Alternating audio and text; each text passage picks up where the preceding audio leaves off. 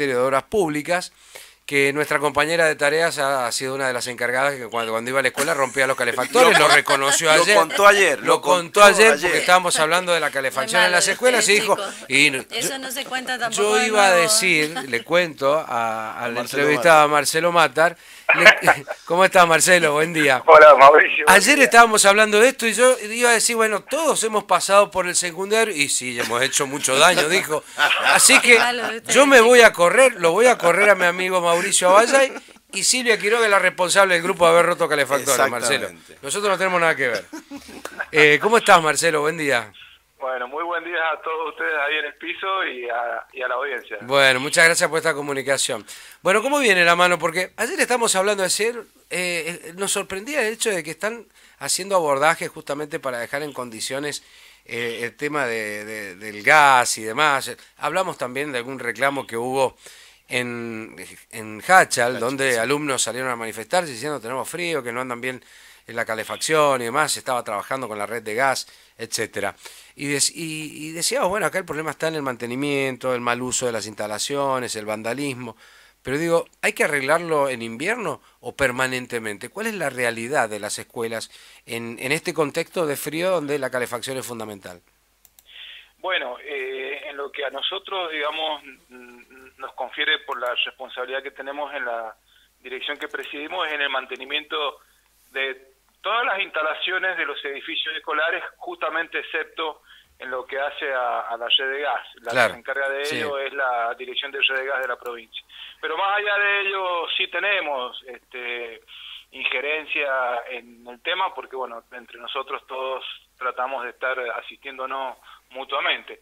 Eh, en el caso específico del mantenimiento en general, se hace mm, cotidianamente, año a año, haciendo una fuerte intervención justamente en los periodos de eh, receso escolar. ¿Qué genera más complicación para ustedes?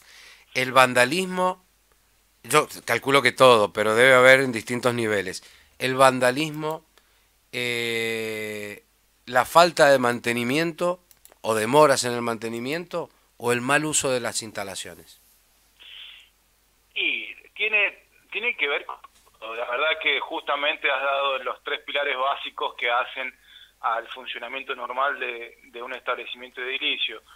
Tenemos, tenemos la verdad que lo que más entristece de todo es la situación vandálica. El, vandalismo en las escuelas a veces eh, es, inentendible, es inexplicable, este, porque bueno, es lo que nos genera por ahí eh, que un edificio, digamos, empiece a deteriorarse, porque algo que se construye en primera instancia con todas las normas de inspección, con todos los reglamentos, mantenerlo después en las mismas condiciones, ustedes sabrán, muchas veces por ahí este, genera hacer un parche, una cañería, digamos, que se obstruyó, que se, que se rompió, eh, se repara en un tramo y no en su, en su total eh, instalación del sistema, que, que fue, digamos, el, el origen con el que se construyó.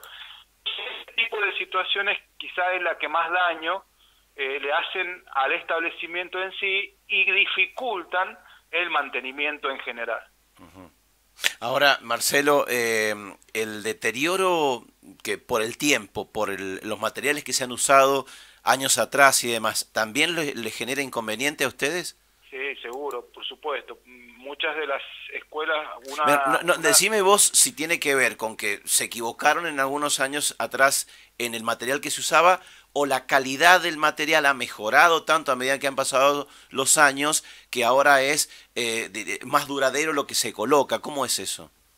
Todo material de construcción, todo material de construcción tiene un tiempo de vida útil, tiene un grado de vejez en el cual ya deja de prestar el servicio al, al momento de diseño, al momento de colocación, pero todo material pasa con cualquier material nuevo o viejo.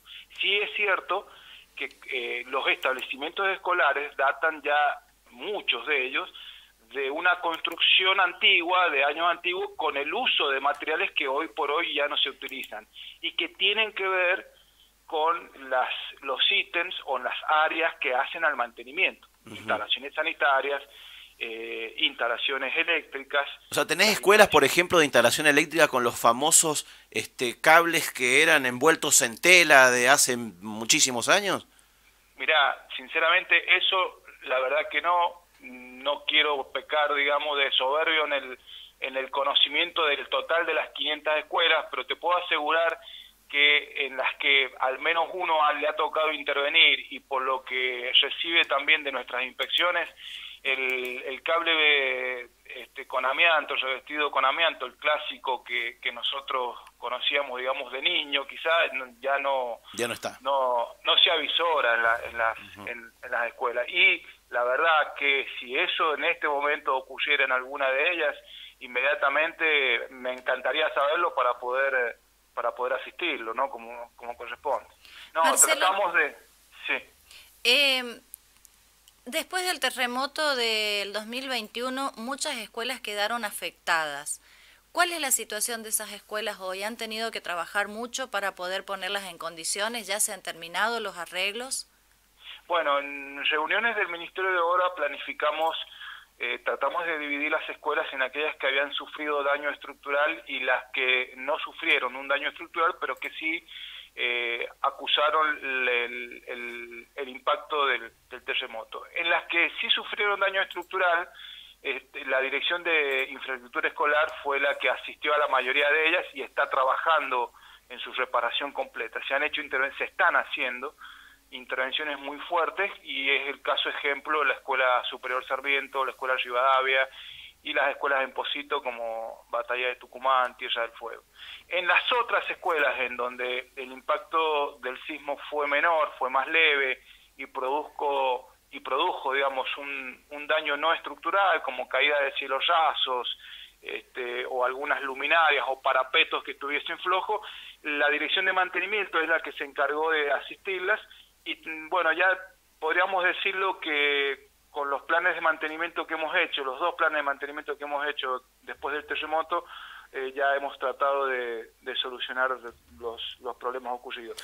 Sí quedan, por ejemplo, algunas situaciones, como en el Colegio Nacional, eh, trabajos de juntas sísmicas, que bueno, eso no, no es que no se haya reparado, hemos decidido no ocultar, digamos, eh, el desplazamiento lógico, normal, de una estructura con otra. Marcelo, recién estaban hablando de las instalaciones eléctricas. Eh, ¿Están en condiciones todas las escuelas, digo, para tener la posibilidad de, climatización ambiental, poner aires acondicionados, esto frío, calor y demás? Eh, digo, es muy difícil ese tipo de instalación. Todas las escuelas en San Juan las tienen. ¿qué pasa con el soporte eléctrico para poder hacer eso? Porque muchas oportunidades hay veces que los padres quieren colaborar y dicen, bueno, a ver, en el curso de mi hija o de mi hijo eh, nos ponemos de acuerdo y ponemos un aire acondicionado entre todos, hacemos una peña, lo que sea, compramos el aire para que lo, lo pongan en la escuela. Y en la escuela hay veces que les dicen, mirá, no podemos porque no lo soporta el tendido eléctrico, la línea, no sé. Eh, eh, ¿Cuál es la realidad de esto? Bueno, ahí justamente has tocado el tema en donde algo que se proyectó hace 50 años hoy queda obsoleto para el uso actual. Bien. Justamente, eh, no, las, las, las, escuelas, digamos, no, no tienen la instalación eléctrica necesaria para el soporte de una mayor carga eléctrica, que eso sería colocación de equipos de aire acondicionado o colocación de estufas eléctricas o caloventores eh, que pudieran, digamos, reforzar o ayudar a la calefacción normal por, por gas. Entonces, bueno, ese justamente es un tema que estamos tratando de abordar, avanzar. La verdad que... ¿De qué manera? ¿Cómo, cómo lo, lo, lo, analizan? Bueno, justamente estos problemas eh, que hoy por hoy han ocurrido en Hachal, eh, vamos a tratar en forma conjunta con la red de gas y la Dirección de Mantenimiento de Obras Menores en hacer un refuerzo de la calefacción con la instalación de caloventores eléctricos. Para eso ya se ha empezado a hacer un abordaje de las condiciones eléctricas en las que se encuentran tres establecimientos propiamente dicho, para poder eh, eh, asistirlos y reforzarlos con eh, la instalación de, de caloventores. ¿Estás hablando de trabajos en departamentos alejados primero y después al Gran San Juan o qué?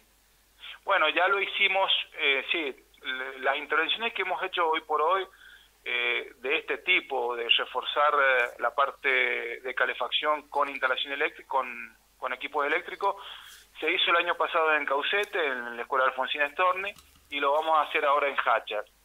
La verdad es que la calefacción por gas eh, está funcionando bien. hemos tenido este problema puntual quizás en Hachar, pero bueno, se está tratando, digamos, de lucidar la verdadera situación, digamos, cómo, cómo fue, pero más allá de ello, eh, la falta de calefacción, que es el, principal problema que, que tenemos, eh, lo vamos a reforzar con la instalación de estos caloventores. ¿El tema del caloventor es de, consume lo mismo que un aire acondicionado? Aproximadamente, sí. es más o menos lo mismo, o sea que hablar de un caloventor es hablar también de un aire acondicionado, este planteo que yo hacía, a lo mejor nos juntamos entre todos, por, compramos un aire, pero si la instalación ya está en condiciones, se puede poner un frío-calor a lo mejor. Ahí está, bueno, justamente, hay una escuela en Hachal que justamente ayer hemos elevado y tiene equipos de aire acondicionado. Entonces, usando esa instalación, si el equipo no es frío-calor, podemos utilizar directamente la colocación del aparato. ¿Será ese el, camino para el resto de los establecimientos de la provincia? Digo, de a poco, no te digo todos ya, pero de a poco encaminarse a eso. Hoy por hoy la Dirección de Infraestructura Escolar, cada proyecto nuevo que ejecuta ya lo tiene contemplado. Sí, eso ya está, las escuelas nuevas vienen así, pero hay muchísimas que son históricas en la provincia, ¿no? Y ahí está la dificultad.